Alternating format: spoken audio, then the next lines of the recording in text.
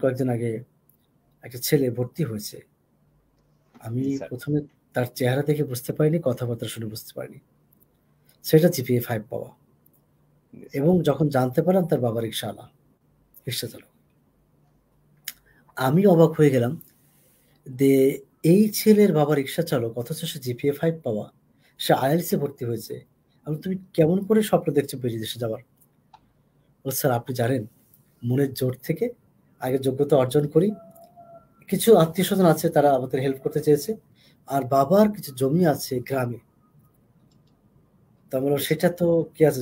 ভিটাবাড়ি ভিটাবাড়ি ছাড়া আরেকটু আছে। ওটাতে তেমন কোনো ই হয় না, ফসল টসল হয় না। তো তবে ওইটা বাবা চাই যে সেল করতে। যদি আমার স্কোরটা আসে তখন সেল করে পাঠিয়ে দেবে। তুমি বললাম তাই এই স্বপ্ন দেখছে। বলছে, জি স্যার আমি রাজবাড়ি একটা কথা বলি, পাংশা বাড়ি। তার বাবার মানে ভিটা বাড়িটাও নাই। তবে ওখানে একটা জমি আছে তার, সম্ভবত এগারো শতাংশ বা বারো শতাংশ আমাকে শেয়ার করেছিল। ওই জমিটা তার ওখানে আছে, রাজবাড়ির পাংশাতে তো বলল যে আমাদের মানে বাবা কেন বাড়ি করে না? বাড়ি করার তার কিছু টাকা আছে।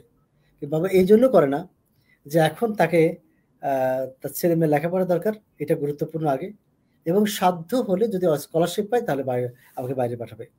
এরপরে, বিদেশ যাওয়ার পরে বা কোনো একটা জায়গায় কিছু করার পরে, তারপরে উনি বাড়ির কাজে হাত দিবে।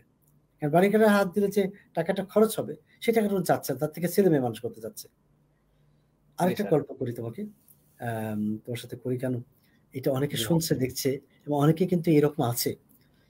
এটা হলো তার বাড়ি ছিল সম্ভবত ইসে হ্যাঁ মনে পড়ছে নেত্রকোনাতে। তো নেত্রকোনাতে একটা থানাতে তো থানাটার নাম এখন মনে পড়ে পূর্বা দিয়ে নামটা। হয়তো যারা নেত্রকোনা তারা বলতে পারবেন এখন। তো সেইটা সেই থানা থেকে আসছে। তো আমাকে বলল স্যার আপনি জানেন আমি একটা লেভেল ওয়ান টু ভর্তি হতে আসছি। কিন্তু আমাদের বাড়িতে তখন শীতের বেলা ছিল। বাড়িতে একটা ঘর সেই ঘরে আবার পার্টিশন দেওয়া। কিন্তু যে সাইডে একটা সাইডে আবার বেড়া নাই এক সাইডে বেড়া আছে। তো শীতের সময় কি হয় মানে বাতাস বাইরে থেকে হাওয়া আসে বাতাস আসে শীতটা চলে আসে। তো বলে স্যার অনেক কষ্ট হয় আমাদের। কিন্তু তারপরেও আমি দুটো অপশন বেছে নিয়েছি। হয় আমি লেভেল ওয়ান টু করব ইংলিশ শিখব না হলে এখন ঘর ট্রিট করব। কারণ টাকাটুকু আছে।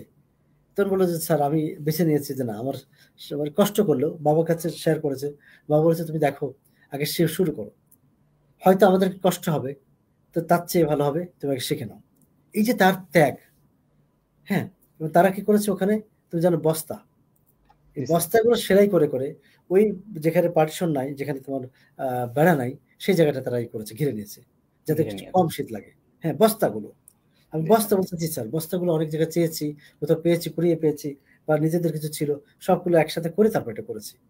হ্যাঁ এইভাবে করে। তারপরে দেখো এই যে ইচ্ছা থাকলে আমাকে অনেকে আজকে একটা স্ট্যাটাস দিয়েছিলাম আমার ফেসবুক আইডি আমার ব্যক্তিগত ফেসবুক আইডিতে যদি কেউ বন্ধু হতে চান এটিএম মাহমুদ। এটিএম লিখুন তারপর লিখুন Mahmud M H M UT ATM Mahmud এটা ব্যক্তিগত ফেসবুক আইডি তো সেখানে একটা স্ট্যাটাস দিলাম কিছুক্ষণ আগে মানে আজকে সকালের দিকে, যে সব, স্বপ্ন পূরণের বাধা কি? আমাকে অনেকে, শত শত কমেন্ট এখানে অনেকে অনেক ধরনের কথা কথা লিখেছে। কেউ লিখেছে টাকা, কেউ লিখেছে অলসতা, কেউ লিখেছে যে তীব্র ইচ্ছা বা ইচ্ছা, কেউ লিখেছে বাড়ির সচ্ছলতা, কেউ লিখেছে যে হ্যাঁ সামাজিক মানে বাধা, এটা অনেক কিছু লিখেছে। তো একটা অ্যান্সার আমি গ্রহণ করতে চাই সেটা হলো কি জানো? ইচ্ছা শক্তি। যদি কারও ইচ্ছা থাকে তাহলে সে সফল ইনশাল্লাহ হবে। টাকা থাকলেও হবে না থাকলে সে জোগাড় করেই করবে ইনশাল্লাহ। স্বপ্ন পূরণ করতেই হবে।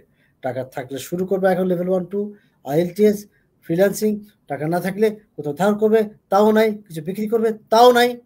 কাজ করে হলেও ইনকাম করে তো শুরু করবে ইনশাল্লাহ। সফলতা তোমাকে পেতেই হবে ইনশাআল্লাহ